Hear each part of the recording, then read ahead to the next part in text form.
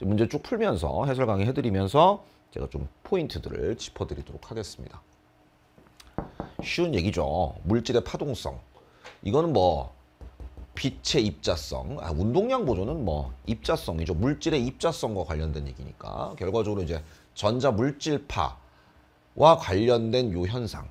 이게 바로 물질의 파동성을 입증하는 실험적 사실이다. 3번이 되겠고요. 자외선이죠. 위조 지폐 감별에 사용되는 전자기파 2번이 되겠습니다. 이 요렇게 진행하는 소리와 요렇게 진행하는 소리는 똑같은 소리예요. 같이 가다가 원래 하나의 소리였는데 분할이 된 거기 때문에 진동수는 같아야죠.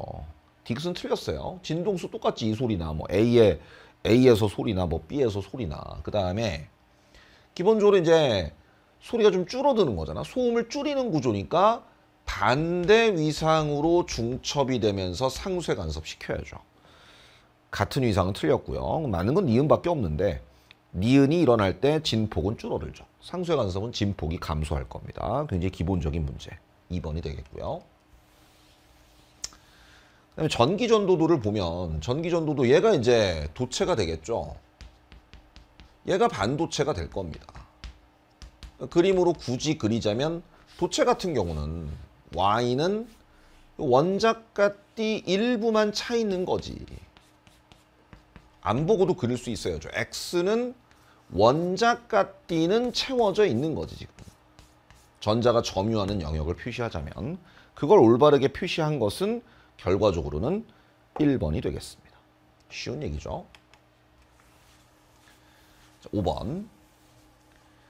A, B를 각각 수평이 유지되도록 실에 매달아 동서방향. 하나는 강자성체, 하나는 반자성체니까 동서방향으로 놨는데 놨는데 별다른 움직임이 없었다라는 것만으로도 얘가 이제 반자성체일 확률이 높은 거고 강자성체는 지구자기장과 같은 방향으로 정렬이 된 겁니다.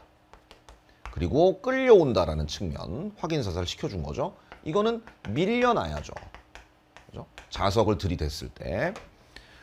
지구자기장 방향으로 자화돼 있느냐? 아니죠. 지구자기장 반대 방향으로 자기화돼 있겠지. 반, 반자성체니까. 굳이 자기화돼 있다면. 이 기억은 틀렸고요. 자석으로부터 밀려난다 맞는 얘기 반자성체니까 그 다음에 강자성체는 강한 자기장 강한 자기장을 만드는 강한 전자석을 만드는 데 사용될 수 있잖아 외부 자기장과 강하게 같은 방향으로 자기화가 되니까요 답은 4번이 되겠습니다 5번까지는 조금 경쾌하게 지식적인 부분들을 충분히 꼼꼼하게 정리했다면 가능한 얘기들이죠 자, 그다음에 핵반응식 완성인데 이거 뭐 허탈하게 답을 고르기는 너무 편했어요. 이게 이제 54가 돼야 되니까 원자번호 54니까 결과적으로 X의 양성자수가 54, 1번이 그냥 답이죠. 뭐 틀린 것들만 골라, 골라보자면 질량수는 Y가 중수소와 같다 이랬는데 얘는 수소네요. 그런데 이게 5니까 삼중수소여야 되는 거지. 틀렸네, 2번. 그럼 나는 핵분열 반응이 아니라 핵융합 반응. 중수소와 삼중수소의 핵융합 반응이고요. 그 다음에 233 우라늄의 중성자수는 뭐 233이다 했는데 아니죠. 질량수잖아. 너무 기본적이네. 그 다음에 질량결소는 얘가 크죠. 에너지가 많이 발생한 게 질량결손이 크지 않습니까? 2, 3, 4, 5번은 거꾸로 얘기했어요. 답은 1번. 자, 오늘 여러분들이 좀 실점할 만한 문제 첫 번째 문제가 7번이었을 거라는 생각은 들어. 오해를 했다면 그렇죠? 요때랑 요때랑 위치가 똑같다. 그러니까 앞으로 간 거리와 뒤로 간 거리가 똑같다는 얘기죠. 운동 방향 바뀐 거거든요, 여기서. 운동 방향 바뀌었다고 했어, 거기 보면. 직선상에서 운동하는 질량 5kg인 물체의 속력을 시간에 따라 나타낸 것인데 0초와 T0일 때 위치가 똑같다.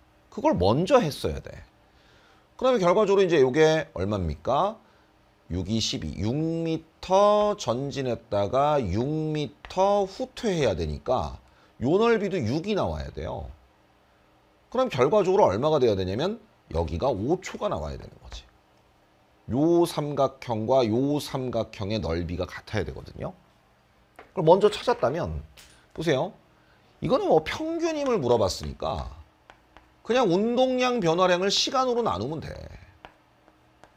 전체 시간은 5초라는 걸 이미 구했잖아요. 그래서 이걸 먼저 찾아야 된다니까.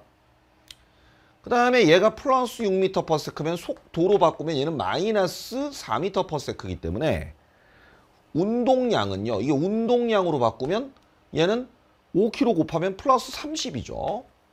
얘는 5, 4, 20, 마이너스 20입니다.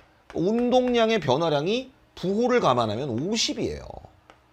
부호를 감안해야지. 그러니까 평균임은 10뉴턴이 된다는 걸 깔끔하게 계산할 수 있죠. 어려운 문제 아닌데 좀 생소할 수 있습니다. 답으로 5번. 그러니까 지금 시기에서는 경험이 충분치 않다 보니까 우왕좌왕할 수 있는 거지. 예, 문제를 푸는 데 있어서.